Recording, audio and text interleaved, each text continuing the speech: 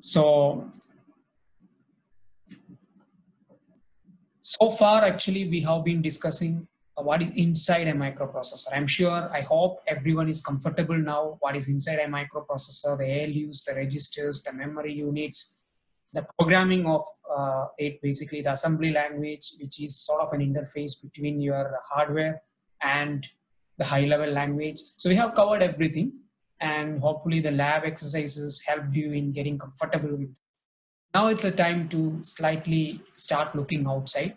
How shall a microprocessor communicate with another microprocessor, for example, or a sensor, for an example.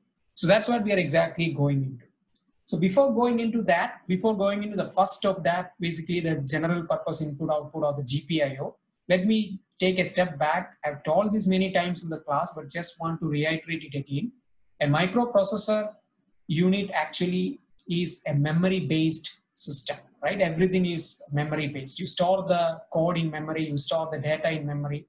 And similarly, it is extended to the interfacing part also. For a microprocessor, interfacing looks like a memory arrangement. So how does it work? How does it look like? Let's actually deep dive. So typically the input output or the interfacing part of a microprocessor, they call it as memory mapped input output.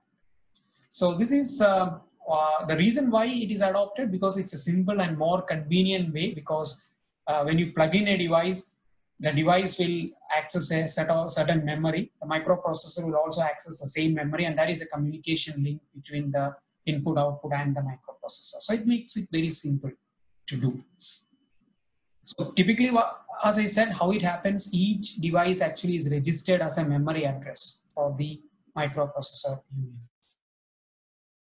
So uh, in that case, if it is like a memory, then you can go ahead and use the typical CPU load and store instructions that you're quite comfortable by now, right? So you used to store data to memory, you used to read data from memory. The same commands can be used. The only change that you have to do is basically the location that you're going to read or write. Those locations are actually mapped to an input and output. That is the beauty about it. So if you see here, you can see over here.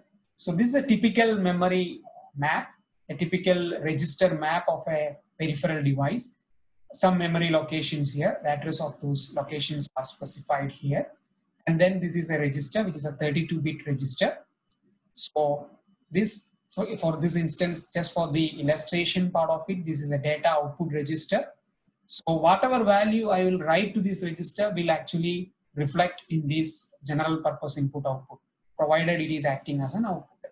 If it is an input, this guy, the GPIO will write something onto this output register and that can be read by a microprocessor. So the entire operation, let's say I want to simply do something like a, write operation. So currently this is this GPIO is configured as an output.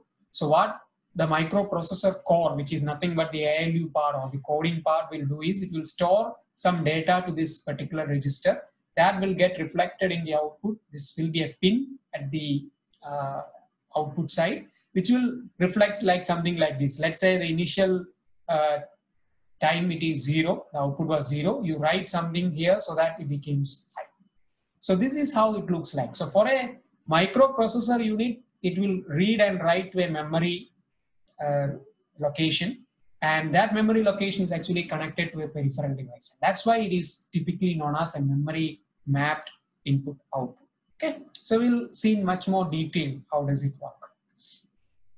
So if you see here, this is this we have seen many times, and I just want to again reiterate it here.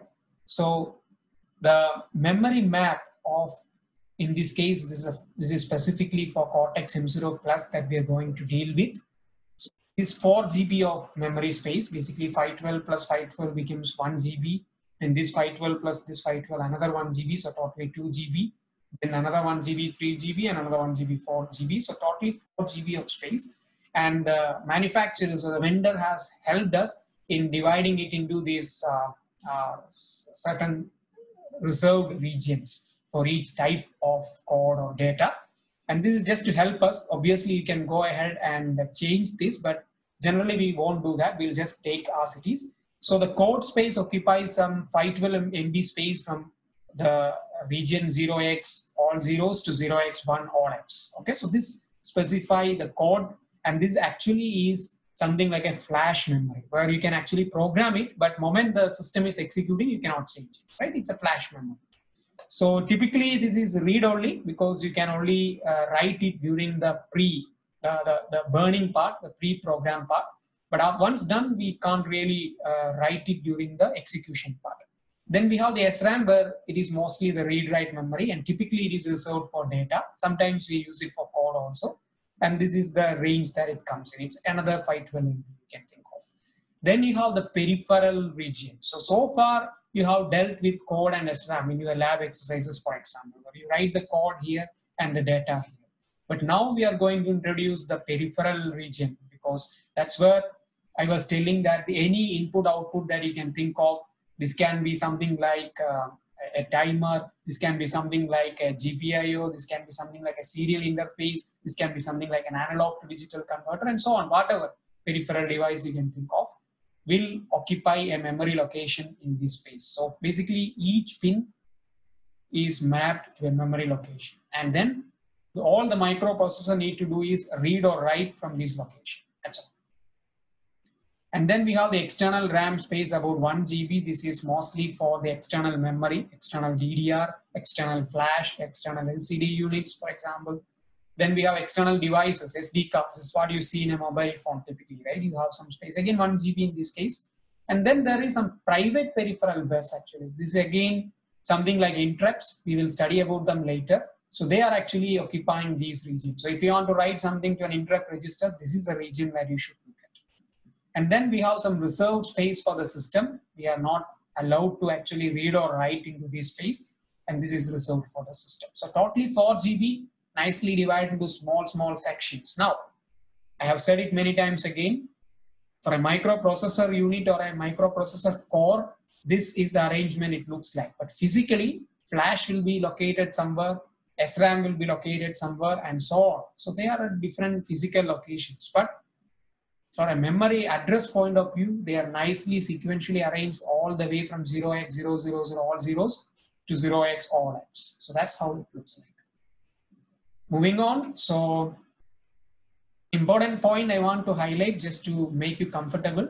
Each location, basically each address location is only 8 bits or 1 byte long. Please remember that.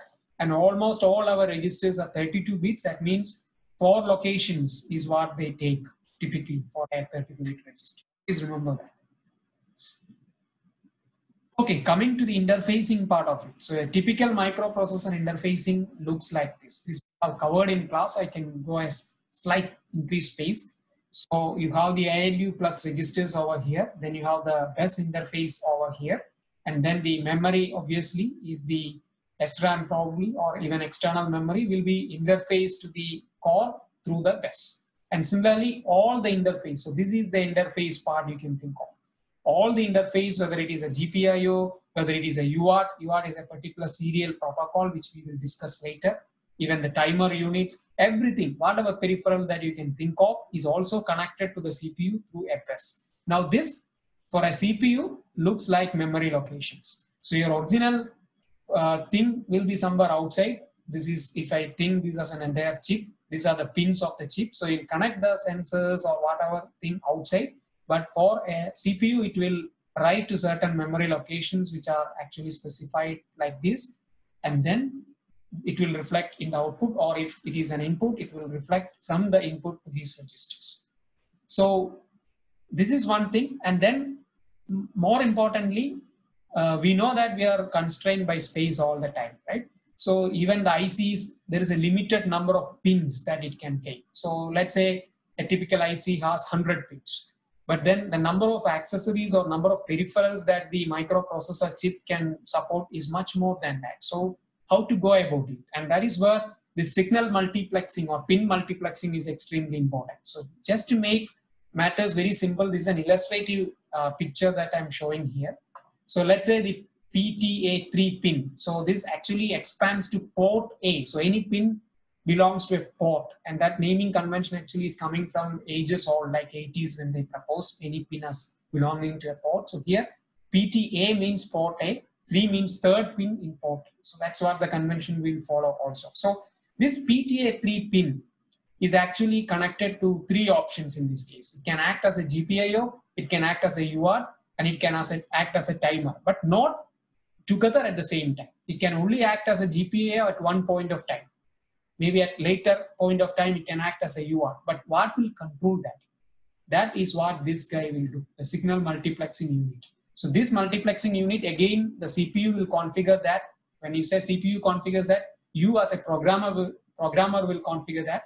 So you will configure this particular pin to act as a GPIO. If it is uh, acting as a GPIO, then the UART and timers will be disabled. So you'll be basically bypassing GPIO through this to this pin. Okay, so then last but not least, the lifeline for the entire unit is a clock. So by default, clock to any circuit in the microprocessor system is disabled. The reason for that is to save on power, right? So if you have clock, that means everything is dynamic, some power consumption will be there, mostly the dynamic power consumption, and you want to reduce that. So how to go about it is to disable the clock. So, but without clock, you cannot work. Microprocessor is a synchronous digital logic. You need a clock to work. And so it's important that the clock is enabled before you start using. But by default, clock is disabled. When I say clock is disabled by default, it is not for the CPU. Okay, I'm talking about all the peripherals. So just to reiterate this slide, there are three aspects to it in a very high level point of view. There is a port controller. This port controller is what it decides whether how to configure your GPIO, how to configure your UART, how to configure your timer. That's what the, the role of a port controller is. When I say controller, it is again a set of memory locations or a set of registers, if you want to call that. Then you have a pin controller, which is a multiplexing control, which will select one of these options and connect that to the out or the input pin. Okay. And last not the least clock controller where you have to enable the clock. So now let's be more focused. We'll deal about other peripherals later. Now let's focus only on general purpose input output. I'll pause for a moment here. GPIOs is one of the very, very versatile interface that is available for a microcontroller program because as the name suggests, it is general purpose. It can act as an input or it can act as an output and you as a programmer can configure that. Typically speaking, a GPIO pin is a single bit input output, okay? So that means port A3 is a single bit, okay? It can only be in two states, one is zero, one is one. Okay, so that's a digital state.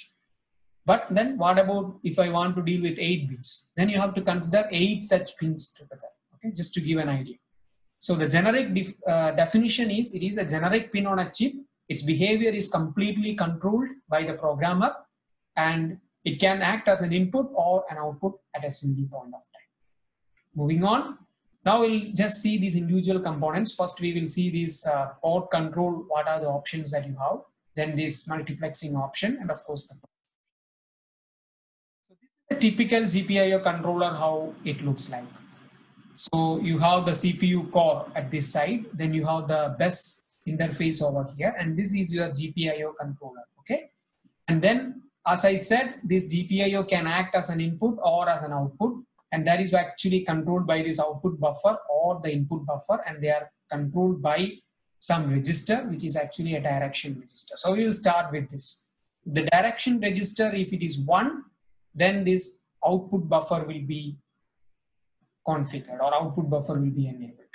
Okay and similarly this is inverted so uh, if it is 1 this guy will be enabled and this guy will be disabled. And similarly, if it is zero, this guy will be enabled and this guy will be uh, enabled. So the important aspect of this di direction register is your microprocessor will write some values to this direction register. Based on that, one of these options will be enabled. So it will either act as an output or it will act as an input. Suppose let's start with a simpler option. Suppose you're configuring the direction register such that the uh, input buffer is enabled and output buffer is disabled. In that case, you can actually think of only this option, right? This option is disabled. So there is only one input register. So whatever value is there in the pin, it will come and sit in this register and your uh, CPU core can read from this register and get the values whatever the whatever is coming from the input.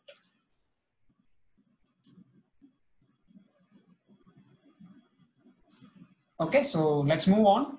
Um, if it is actually configured as an output, you have so many options. Okay, you have a data output register, you have a set output register, you have a clear output register, and you have a toggle output register. So how does it differentiate? That's important to see. So the data output register, you can actually put some value there and that will actually reflect in the pin directly. And of course, you have only two options left. One is one, one is zero. And when you say register, all these registers are 32 bit. But one point of time I'm saying it is one bit and now I'm saying about 32 bits. So when I say 32 bits, they correspond to 32 pins at the output. So let's say 31 to 0 is the bits that you have. 31 first bit corresponds to a 31st pin. 30th bit corresponds to a 30th pin. Similarly, 0th bit corresponds to a 0th pin. So you can write some value here. Let's say I'm putting 1 in the 0th position. That means the pin which is actually corresponding to that 0th bit will be high, right? That's the meaning of it. Set output register means all the bits will be set to 1. That means all the output will be set to high. Clear output register means all bits will be set to 0. That means all the output will be low. Toggle output register is actually interesting. It is, as the name suggests, the toggle the status. So if the pin was already 1, it will become 0. If the pin was already 0, it will become 1. So just toggle the status of the pin. This is extremely useful in many cases, something like setting a flag, right? So that's, that's the beauty. So just to summarize, this is a GPIO controller. So uh, the, there are set of four output registers, one input register and one direction register. So the mo most important guy is the direction register, which will set the direction. And if it is input, you are only worried about this input register. If it is output, you can actually work on these four options, whichever you want. Okay. So just to uh, put it in words, whatever we discussed so far, uh, GPIO as I said, each port is 32 bits, so that means 32 pin options are available, okay? And then to reduce the power, as I discussed earlier, all clocks are disabled. So if you want to use a GPIO, you have to enable the corresponding clock. Then each pin, uh, as I said, is having multiple option. It can act as a GPIO, it can act as something else also. So that a multiplexing option is always there. Remember that. And now just to uh, make it uh, not very generic, but coming back to our board, whatever we are using, the Freedom KL25Z board from NXP, it has five GPIO ports, which is port A, port B, port C, port D, and port E. And remember, each of these ports has these six registers. So 30, and each of these uh, ports will have 32 pins also. So just to reiterate, Five ports are there, port A to port E. Each port has six registers, control registers, four output registers, one input register and one direction register. And then the each port, if you see, they are 32 bits long. Each register is 32 bits long and each bit corresponds to a pin. Okay, so that's very important. All these things become vague at this point of time, but we will have a hands-on exercise in this and then it becomes very, very clear for is the pin layout for our board, our freedom board. As you can see over here, a lot of pins are there. And uh, let's take one pin and see the multiplexing option. So let's take this pin. Okay, I'm talking about only this pin. So this pin can act as the SDA. We will study what is SDA later. It is an I squared C protocol. Is another uh, serial protocol. So this pin can act as an SDA pin, or it can act as a PWM pulse width modulation option or it can act as port C's second pin, or it can even act as an analog pin number four for Arduino. Okay, so the green values are actually directly Arduino headers. What, my, what I mean by Arduino headers is we can actually plug in an Arduino board directly on top of this. And then the analog pin number four is connected to this pin. Now, just to give an idea back whatever we were discussing. So this pin has four options, one SDA of I squared C1, one PWM, one PTC2 and one A4. So which one you will choose? That's where your pin multiplexing register will help you. You choose, let's say, port C, then it will only act as port C. And then you have to configure the GPIO. That's the next option that we have. Just a bit outside of it, this whatever the black thing that you're seeing over here is the touch screen uh, interface that is there, which is built in for it. Let's take another one for, uh, uh, for your uh, better understanding. Okay, let's take this pin. Okay, so this pin will act as the transmit TX, transmit option in the UART. Okay, so the UART is another serial protocol which we will discuss later. So this pin can act as the transmit pin of the UART or it can act as a PWM pin again, or it can act as port A's second pin, important, okay? Port A's second pin, or it can act as digital input zero for the Arduino. So four options there. Now which one you will choose? You let's choose the port A2. In that case, you have to go and set your pin control register and disable the other three options and enable this. That's what you will do, okay? I'll have that exercise so it becomes very clear, don't worry about it. This is other side, so extension of the pin layout. So interesting to see that this has a built-in accelerometer and these are the pin options that you have. And this is multiplex with port E and port A. These pins are multiplex with port E so similarly, the capacitive touch slider is connected, is hardwired to port B's 16th pin and port B's 17th pin for you. So it's already there. So if you read port B's 16 pin, so first of all, you have to configure port B as an uh, input and then you read this 16 bit and 17 bit. Those are values coming from your capacitive touch slider. Is not it interesting? Yes, it should be, right? And uh, similarly, there is a built-in RGB, red, green, blue LED for you. It's a multi-color LED for you. And that is actually multiplexed with these options as well. So port B18, port B19, and port B1, you make it as output, and then you can control these LEDs. And the same time, those pins, these port Bs 18, 19, and port Ds 1 are multiplexed with PWM uh, options as well. So you have to do that. So just to make it uh, very simple for you, there are many pins, so many pins are available on the board. Each pin is having multiple options. It can be a GPIO, it can be a UART, it can be I squared C, it can be timer, it can be PWM, whatever you can think of. You have the control to configure it as one of them. Moment you configure that, you can move on and configure that particular thing. Okay, so that's how we proceed. Now, let's now go a bit deeper and let's see how to configure. Step one, this is, this is something which is very interesting. This is universally true. Whatever interface that you're going to work on, step one remains same.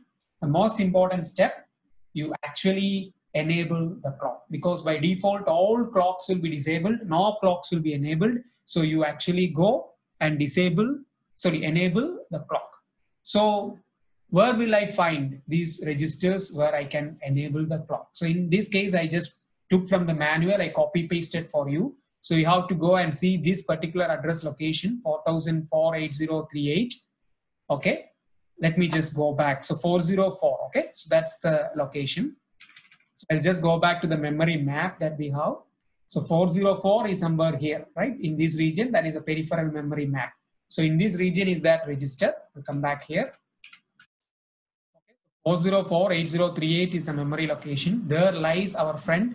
This is the name of that register, System Clock Gating Control Register 5. SIM, SIM, the, it stands for System Integration Module.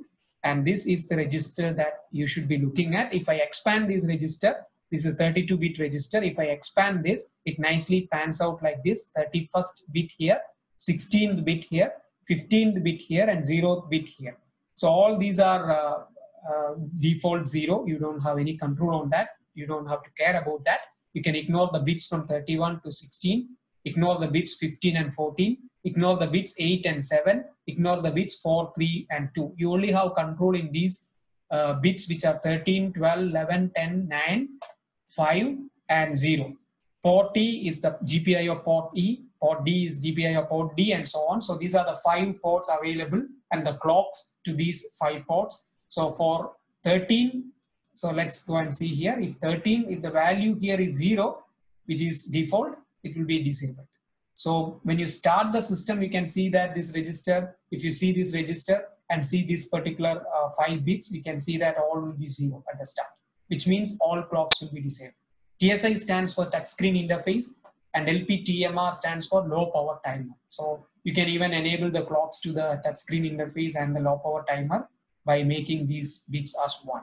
But let's not go into that direction now. We will focus rather on these five locations or five bits. If you want to use them, in this case, let's say port B is what I want to use. You make that bit as one, 10th bit as one, remaining I don't care about, and then you write to these register at this particular location. The moment you do that, the clock will get enabled. Now, some people might be just curious to see from where I got all this information from. That, let me just quickly show you. This document I will share with you. This is the Bible for you, the reference manual for the KL25 subfamily. If you see here on the left-hand side, you see all the options available to you, even memory map, clock distribution, reset, everything, all the options related to this field. And you should actually start looking at three modules in this section, in this lecture. The first is the system integration module. So if you go there, you click there, you can see all information about clocking, everything. So you can see the register map here. So in this register map, so many registers are there. If I go and click and see this particular register, if I go and click here, it will directly take me to this particular thing. This is what I was actually showing you there. So you everything is explained. 31 to 20 is reserved, 19, 18, 14 is all reserved. 13th bit is 40, 12 bit is 4D and so on. So all by default is clock disabled because the value will be zero. If you want to enable them, you write that particular bit as one. It will do. So this is your friend. You have to always come back and see in this particular document. So for example, the signal multiplexing. If you go and see here, you can see the signal multiplexing option.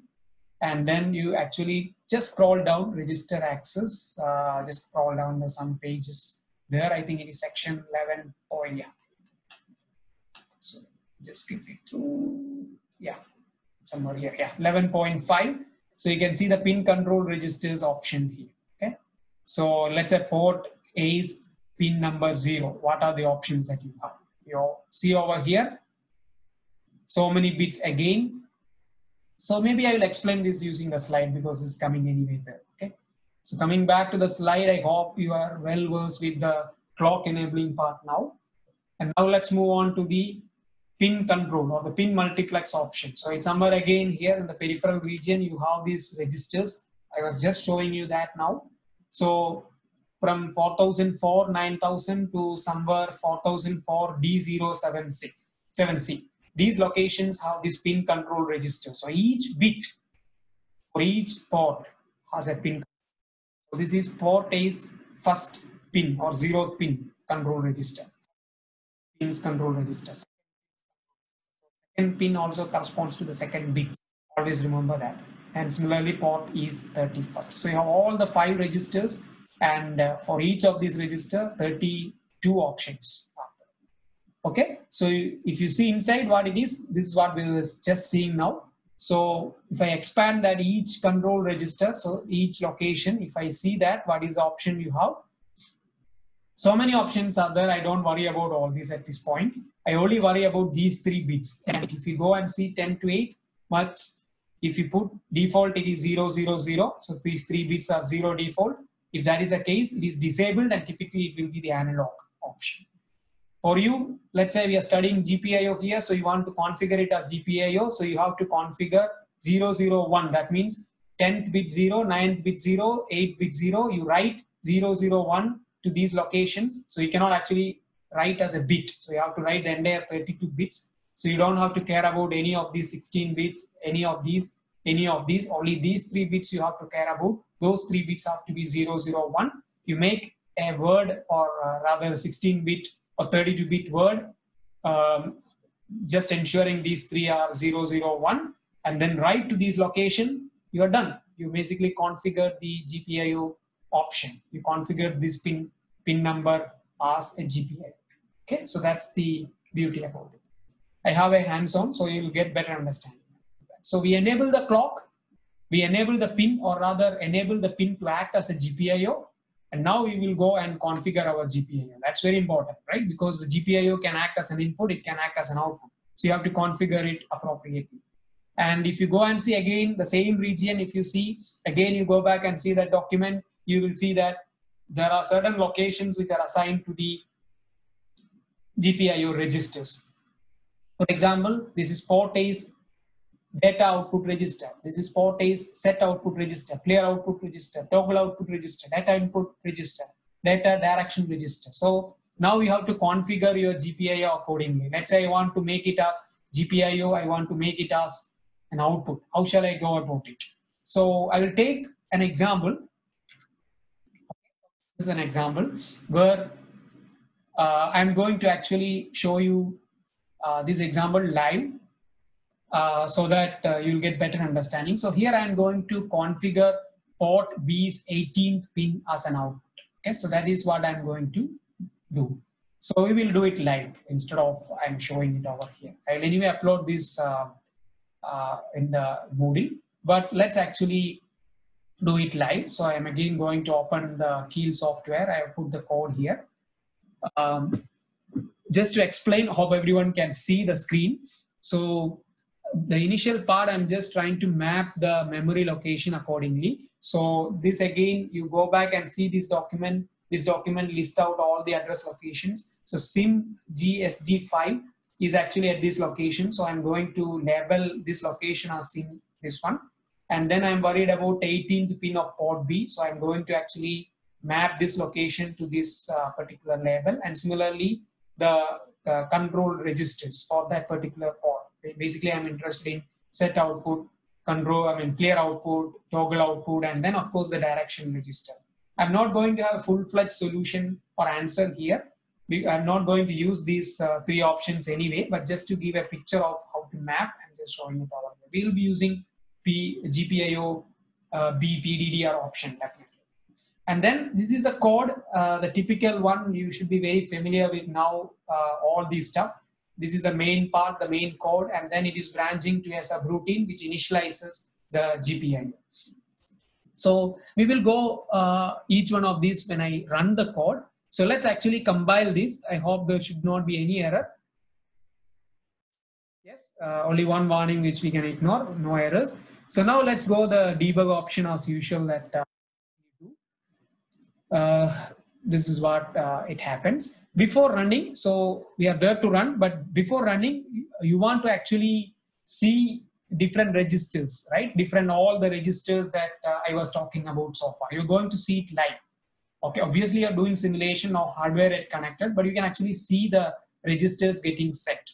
So before doing that, these registers, as we discussed, it is somewhere in these locations, right? 4004 and those locations. So we want to make them write enabled because I want to write to those locations. So by default, it is not uh, enabled. So just go to debug then go to memory map and here you can see actually what is currently mapped.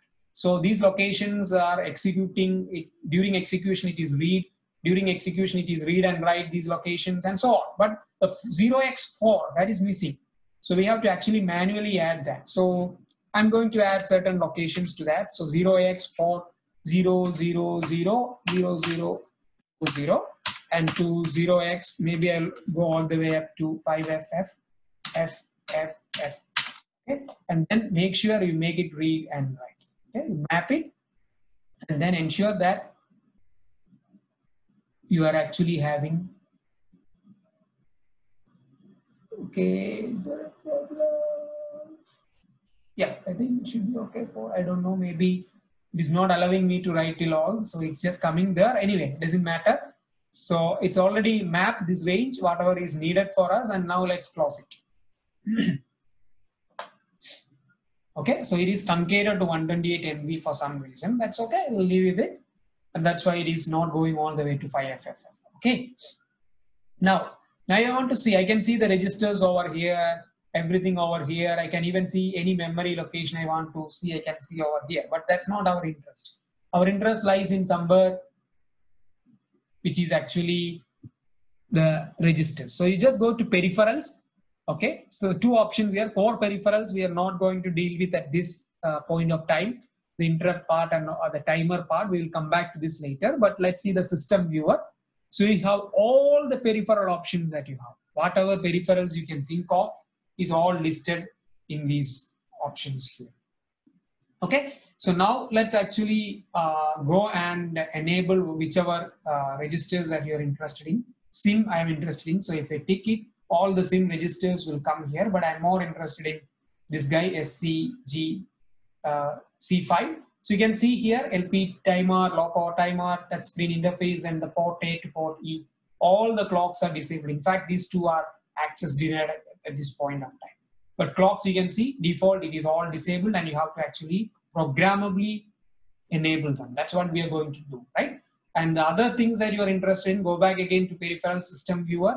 You are interested in the port and in this exercise, I'm only interested in port B. So I'll just take port B and you can see port B's pin control options. All the options are there. I'm more interested in pin control register 18 and you can actually see the options that you have in the pin control register. If you're interested, please go and see in that document what is, is, is these options for.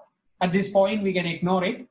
And uh, we are only interested in this mux option. So it is all disabled. If I click here, you can see all the options available. So to make it GPIO, you have to write 001 to this location. You are going to do it by software again, right? So currently it is all zero. So we have the clock option here, you have the pin multiplexing option here. Now you want to see the GPIO control register. Again, go to system viewer and then come back to GPIO and then enable GPIO B, okay, because that's what you are interested in. Now you can see here, GPIO B is all options, data output, set output, and so on. Okay, everything is there. By default, everything will be zero. This means all the pins of uh, port B are zero by default.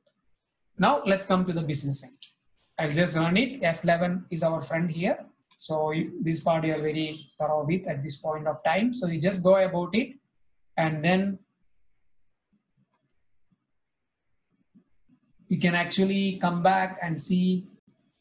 Okay, so uh, you can see over here, uh, what we are actually doing is we are loading the address uh, location SIM SCG5. Basically, that is nothing but this particular location to R0 and then of course getting the content of that location basically content of this register. Basically what is the current situation of this uh, uh, clock control register? So that value is actually coming to r1 and then in r2 what i'm going to do is basically loading this value. So from where i'm getting this value that's very very interesting because you have to go back to the system uh, uh control system integration module this particular register layout if you see so here the objective is actually to set the port B. So basically to enable the clock in this port B only to one. So for that, the rest of the things I don't care about, right? So these are all bits, 31st bit to 16 bit is, is all zero, 15 bit, 14 bit, 12, 13, 12, and 11th bit is all zero. 10th bit I will make it as one. Ninth bit again zero because I don't care. And remaining odd I don't care. It will be all zero. So if you see this will be zero zero zero zero in terms of hexadecimal. And then this will be zero. And then basically 15 14 13 12 will make uh, one zero. And then here zero one zero zero. So that is zero one zero zero is nothing but four. And that is why I'm actually having a four. here and remaining I don't care about so always remember this is hexadecimal representation. So one zero means zero zero zero zero in terms of binary, right? And this four is coming because I want to make only port B as one, others are zero. And that's the reason I'm going to write port B. And I'm not writing this value directly to SIM because I don't want to affect which is already whatever values which is already there in SIM value. That's the reason why I'm using this OR operation. So loading whatever content which was already there to a register R1 in R2, I'm going to set the desired value. Then ORing R1 and R2, that means only the location which is actually corresponding to port B gets updated. And then moment you do that, you can store it back to this particular location. So let's see, let's see that. So I'll go to SIM. So this is all disabled. So we are already here. Okay, so F11. Okay, I'm here. I'm loading this value. I'm ordering the value. The moment I do this, you just notice here, the port B will get updated to enable. Beautiful, right? So clock is now enabled. Clock is up and running for port B. That's the beauty about it. Hardware is same. You have not done anything. You just change one software, you loaded a program, you, do you actually change the bit value using program, your clock is enabled. That's beautiful, right? So that's where we are going. Now comes the next part. Now the uh, clock is enabled. Now comes that port B. Port B is actually configured default as analog and it has other options also maybe, but I want to make it as GPIO. So you have to write 001 to that particular uh, port B's 18, the, uh, this particular register, right? I mean, uh, that pin register. So where is it? Now let's go back and see the pin control register. So this is the pin that I'm interested in. 001 is the only value I'm interested in. Remaining everything is zero. So this again, as usual, 31st bit is zero, up to 16 bit is zero, 15, 14, 13, 12, 11, everything is zero. Only this values I put 0, 0, 1, 10 bit is 0, 9 bit is 0, 8 bit is 1, and that's it. So let's say 0, 0, 0, 0 for this value, hexadecimal, then 0 here, and here it will be 0, 0, 0, 1, right? That's the value I'm going. That's why it is 0, 0, 1, 0. So you write this, you will see the values changing here. So I'm again going to do it, F11, 11, this one is done. The moment I store this, you can see actually this guy has become GPIO. So you have done the first step, clock is enabled. You have done the second step, which is actually the GPIO is enabled. And now you can go and configure your GPIO, basically the port B. So the port B is here and I need to set the direction. So direction register is here. And here I am more interested in which pin. So I just told you something 18th pin. So then I just need to make that 18th pin as 1. So that means 18th bit as 1. All bits other than 18th bit is 0, which is basically 31 to 0. All bits are 0 except the 18th bit and that corresponds to a hexadecimal representation of 0x0004 and so on. So you go ahead and do this. Moment you uh, write this, you have the value here and that means the 18th bit is configured as output and remaining, in fact, remaining all bits in port B are configured as input. Don't care about that. We are only caring about port 18.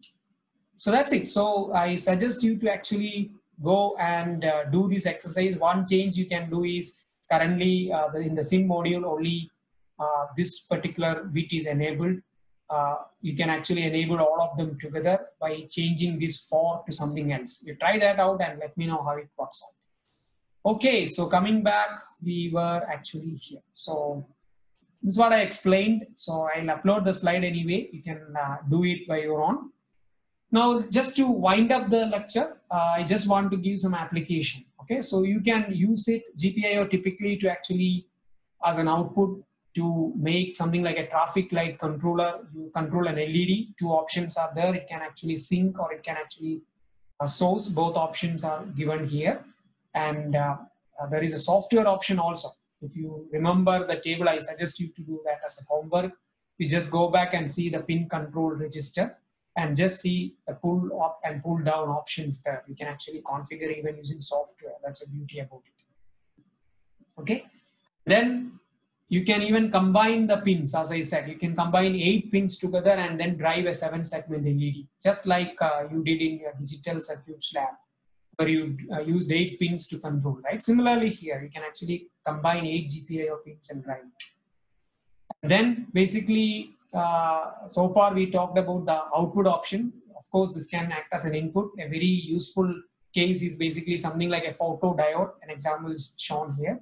That can actually drive an input. So when light falls on it, the 3.3 volt get connected and this appears to be an input one. And when light uh, is not there, this will become zero, and then of course this will be zero. And that's it pretty much. So we are at the end of it. So what we discussed today is the very, uh, very basic and most powerful interface that a microprocessor unit can have, which is the general purpose input output register. This can, as the name suggests, this can act as an input and this can act as an output. Everything is controlled by you.